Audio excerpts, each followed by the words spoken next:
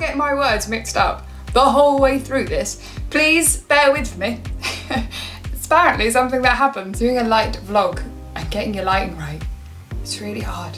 I have no facilities to do good lighting. This is the best I'm gonna do, okay? No judgments. you wanna see this rig. Lamps that have been placed in bizarre angles. I've decided to do anything in the dark. Silly. You wanna see my soft furnishings to help sound improvements? I think we're on. Sweet.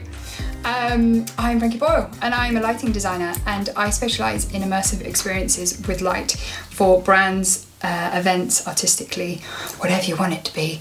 Um, but because uh, I rely on large groups of people being in large rooms, uh, I'm somewhat quiet at the moment. So if anything, I thought I could at least be helpful in sharing a little bit of knowledge and skill set on how to do lighting in the home and also what an impact light has on our bodies and well-being. And it is the key to making us feel positive and energized through this lockdown time. And the sun out there is one of your biggest tools.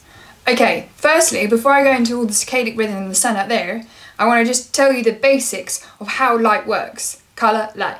Because if you're anything like me you don't take anything on board unless you know the really fundamental details. And apparently i like Using this terminology, small fish, big. Our diet of light comes from the sun, which contains all the visible light rays. Now we only see light when it touches something. That light we know is, is colour. Now colours are the result of different speeds hitting different surfaces. Now I do say speeds Lots of people like to say wavelengths, but the wavelengths for me don't really sit with me well. They kind of go in and out and yeah. I like to think of speed, like blue light character of just like this really muscly hench guy on the starting blocks, 100 meters, gonna go full pelt, full of energy, ready to do this. And then I see the red guy, like at the end with a spliff, really chill, calm, ready whenever, you know? God, it's not very feminist of me to use men, women as well, you know, guy. That can be both, right? I don't know why I keep going into American. now, once we understand all these characters, I don't know why they would have that expression. Now, white objects reflect everything back. Doesn't want any of it, so it comes across white. Therefore, it stays cold.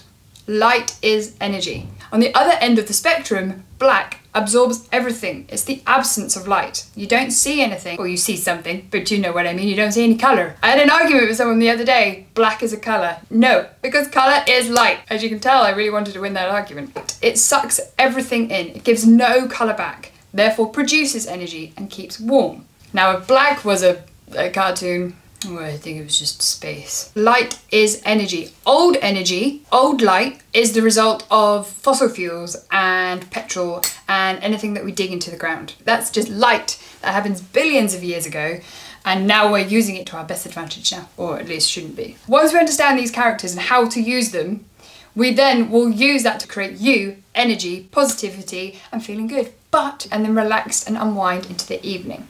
And getting a good sleep jump back into circadian rhythm. So the circadian rhythm is only really being understood in the last 20 years, and the circadian rhythm is the thing that keeps your whole body working. Now the sun produces all these light rays throughout the day. Those blue wavelengths are shorter, high energy. Those high energy wavelengths comes through the Earth atmosphere, hitting, colliding with molecules. Light is only visible when it touches something, allowing light to scatter, which makes the sky look blue. Now, that blue light is what triggers the master clock of our brain to tell us our body clock, our well-being and the function of all our other organs. Everyone knows that a good day makes us feel great and a shit day makes us feel shit. Think about your consumption of light like your fruit and veg a day. Get that five a day. Five a day. How many colours in the rainbow? Seven a day. Millions of colours, that's the right answer, right? The sun sends signals. Oh my god, there's so many S's. The sunlight sends signals through your skin to all your cells in your body for our energy, positivity, and why we need to be in front of it, under it, in it. I don't know, are we in it? Anyway, terminology, get us all spacey. Gotta get our seven a day. Think of those rainbows. Outside, at least 15 minutes, Weirdly, our bodies don't run at 24 hours, we run 24 hours and 20 minutes.